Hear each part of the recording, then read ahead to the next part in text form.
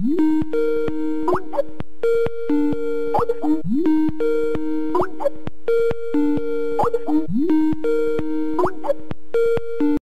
were founded uh, about three years ago on the idea that robots are coming out of factories. Yeah, we are based in Marseille. We met about 10 years ago at ECAL, where we both studied. We both studied graphic design. So we have no background in robotics whatsoever. So everything we do now is kind of self taught.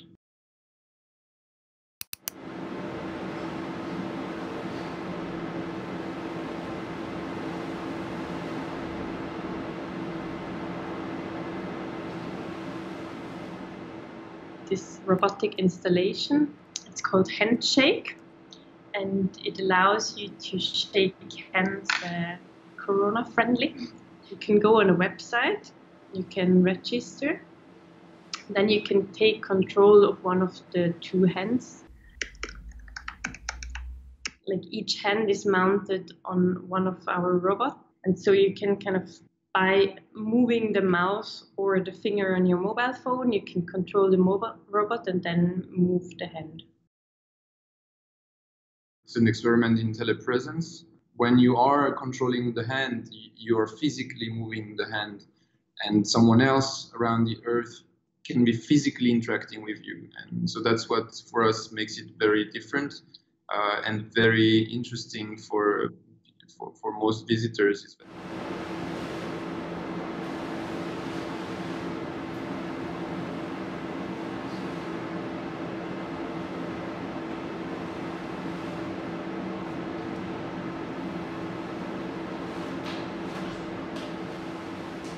Last few years, there has been really a push to have robots um, not separated physically from workers in factories. Now we have robots that can be around anybody in any place with uh, public, with students, with uh, customers. Uh, and so you can start to think about completely new uh, use cases where you can install these machines and it creates completely new experiences that were not possible.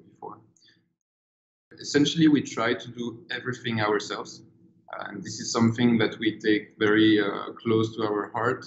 Every project we do, we want to understand everything. And the fact, uh, uh, the process of learning all the steps to, to teach ourselves all the techniques, methodologies, uh, to produce our projects, for us, it's almost um, it's almost part of the projects to, to say that uh, as artist and designer, we actually don't want to just commission other people to execute this part, the technical part. Um, we want to reappropriate these technologies for ourselves, and we can only truly understand their potential by by knowing how to use them. We used a lot of processing, uh, which is a sort of a framework for artists and designers to program visual experiments uh, on screen. Uh, but then it's very easy to interact with uh, physical hardware and sensors. So we use extensively Arduino. We have quite some projects in the pipeline now. We do some like robot mounted on a car driving through Zurich, and we have some other crazy things happening. So we kind of want to push this aspect of the of our studio. So now, because we know very well electronics and programming and mechanical engineering, the design and the art uh, side. Uh, we can blend the two uh, in very creative ways. Um, and so that gives us a unique service um, for potential partners.